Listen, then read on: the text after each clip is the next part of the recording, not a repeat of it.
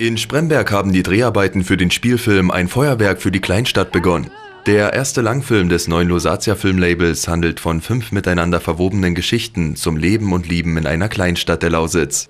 Große fiktionale Spielfilme zu den Themen der Region, aus der Region, im Speziellen auch zur Lausitzer und sorbischen Thematik fehlen, mit wenigen Ausnahmen. Die Geschichten von hier werden einfach nicht erzählt. So beschreibt das Team von Losatia Film ihre Idee auf der eigenen Website. Das neue Filmlabel setzt es sich zum Ziel, regionale Unterstützer und Sponsoren zu finden, um auch in Zukunft weitere Spielfilme über die Lausitz und dessen Einwohner zu drehen. Der Film Ein Feuerwerk für die Kleinstadt soll dann im Frühjahr 2024 in den regionalen sowie den überregionalen Kinos auf die Leinwand gebracht werden